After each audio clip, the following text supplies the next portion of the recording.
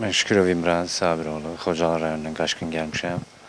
Nərmanov rayonunda Kölov Rəhimov küçəsində yaşayıram. Kölov Rəhimov küçəsində yaşayan, yəni binanın zirzəmisində yaşayıram. İndi hal-hazırda özüm o binanın vəziyyəti ilə bağlı olaraq və gəlib düşmüşəm bura xəstəxanaya. Ciyərlərimlə şikayətim var. Yəni baxılmır. Orada acınacaqlı çox pis vəziyyətdir. Mən də Nə baş verir orada? Yəni o binada nə baş verir ki, sizin yəni sonuçda gəlib bu xəstəxanaya düşməyinizdə nəticələnir? Sonuç odur ki, rütubət yaşayış yeri deyil. Qətiyyən yaşayışa e, bilsən nətərdir? Olmayan bir yerdə, yaşayış olmayan bir yerdə. Binanın morqu sayılırdı əvvəl. Orada morq olubdu. Biz qaçqınlar orada əvvəl sonradan gəlib orada yaşayırıq və orada rütubət, nəmişlik, pəncərə yeri yox, hava yeri yox. Nəinki mən, orada 40 ailə var, 40 ailənin də vəziyyəti, hamısının nəticəsi budur. Hamısının yeri burada. Mən evdə 5 boş külfət ayım, üçü bu vəziyyətdədir məndə. İndi hal-hazırda da bax, evdə vəziyyətim, evdə uşağım da xəstədir, özüm də buradayam. Yəni mən bütün bəzi orqanlarda, Nərimanov rayon icra hakimiyyətinə də yazılı şəkildə icra hakimiyyətinə məktub verdim, köməkdarlıq olunsun. Kim bəs maddi durumum çətindir, biraz pul barədə köməkdarlıq. Orada ən azından özünüz də görürsünüz, orada insan yaşaya bilməz, yaşaya da bilmir. Hamısının rütubət nəmişdik. Gətirir, çıxardır ağciyər xəstəxanəyə vərəmə, qaraciyərə, digər bir xəstəliklərə. Çox Bəs bundan öncə, yəni sizə qədər orada yaşayanlardan heç belə bir xəstəxanaya, yəni ağciyərin üstünə müraciət edən olub, bir ciyərlərlə bağlı, yəni ya böyrəklərlə bağlı. Var. Bu elə bir xəstəlikdir ki, hamı gizlədir.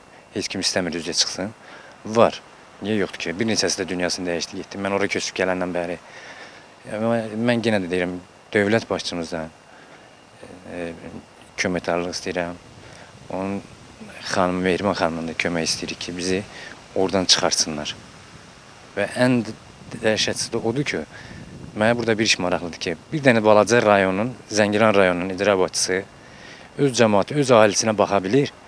Bu bir də Nərmanov rayon icra başçısı. Adı yadımdan çıxıb tam dəqiq bilmirəm. Bir dənə Xocalı qaçqınına o maddi yardım eləyə bilmir ki, imkanım yoxdur, baxa bilmirəm. Siz özünüz Xocalıdan. Bəli, Xocalı sakiniyəm. Mən özüm də Qarabağda iştirak eləmişəm. Əliləm, amma əlillik dərəcəsini 3-cü qrup veriblər.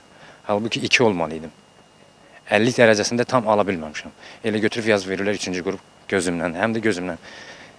Yəni əliləm, baxılmır. Yəni ən azından bizə orada baxılmalıdır. Gəlib baxsınlar, bir şəraiti görsünlər ki, oradakı insanlar necə vəziyyətdədir. Mən yenə də sizdən çox xahiş edirəm. Mənim bu səsimə dövlət başçımız, onun xanımı Mehriban xanım bizə kömək eləsin, bizi oradan çıxartsın. Neçə müddətdir burada yatırsınız? Var. 92-ci ildən bu, yəni mən bu dərd məndə var. Xocalı hadisəsindən çıxandan. Yəni bunun qarı qışlı yollarını gəlmişik. Orada xəstəlik tutmuşuq.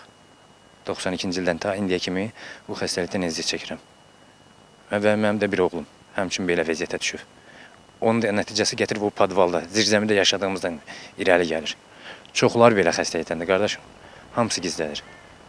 Mən də istəyirəm ki, dövlət başçımız bizə kömək eləsin, bizi o zirzəmidən çıxarsın, bizə azadlıq bir ev versin.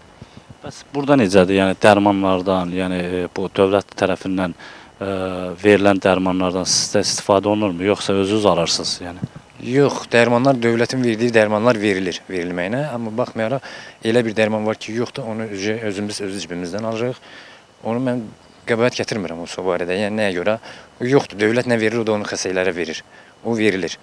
Amma ki mən yəni olmayan, olmayan dərva dərmanı bahalı dərmanı öz cibimizdən alırıq. bu da yəni bahalıdır da sizin üçün yoxsa? Ən azından bahalıdır. Ən azından elə bir dərman var ki, 10 manat, 12 manat.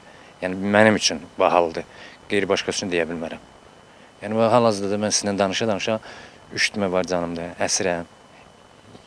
Yəni bir sözlə qardaşım, dolanışıq yoxdur.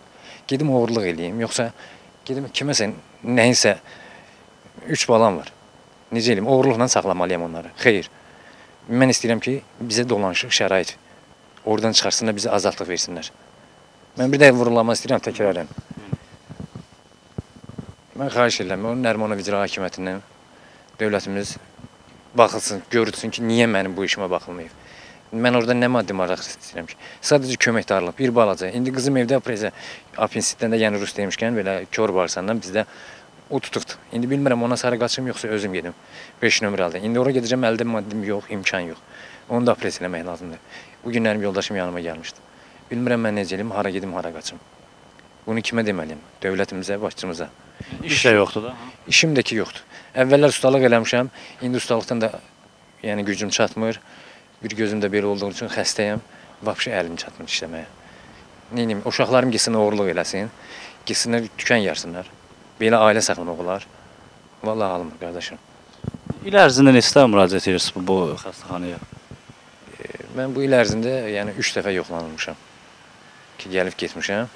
Bu sonuçda vəziyyət lap acınacaqlı olduğuna görə məcbur olub uje gəlib düşmüşəm bura. 4 gün 5 gün qızdırma, titrətmə, üşütməklərlə belə şeylərlə müraciət eləmişəm, gəlib düşmüşəm bura. Mən bu belə deyildi. Mənim çəkim 96 kilo idi. Bu, bu vəziyyətə gəlib düşə düşə düşə düşə gəlib çıxmışam bura. Bu xəstəlik insanı yeyir. Nəinki məni yeyir. O podval hamını yeyir. O zirzəmi hamını məhv edibdir qardaşım.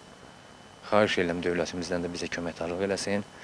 Nərmanov icra hakimiyyətindən də köməkdarlıq istəyirəm ki, mənə maddi duruma köməkdarlıq eləsinlər. Yazılı şəkildə ərizə vermişəm, baxılmayıbdı. Mən də dövlət başçımızdan xahiş edirəm ki, mənə köməkdarlıq eləsin. Kanal 13 olaraq biz hal-hazırda Nərmanov rayonunda yerləşən ə, Morqun ə, podvalındayıq. Biz ə, burada demək olar ki, hardasa 40-dan çox ailə yaşayır. Vəziyyətin acınacaqlı olduğu göz önündədir. Hal-hazırda elektrik xətləri üzdə. Evlərin çoxunda nəmişlik və su, rütubət. Bizə müraciət edən ə, İmran Şükürov, ə, İmran Şükürovun şikayət əsasında araşdırmaya keçdik və hal-hazırda biz ə, buradakı mənzərəni öz gözlərimizdə gördük. Bu mənzərə 21-ci əsrdə yaşamağımıza baxmayaraq Azərbaycan reallıqlarını əks etdirir və ə, qaçqınların və məcburi köçkünlərin ə, hansı vəziyyətdə, 25 ilə yaxındır hansı vəziyyətdə yaşamağını ə, özündə əks etdirir.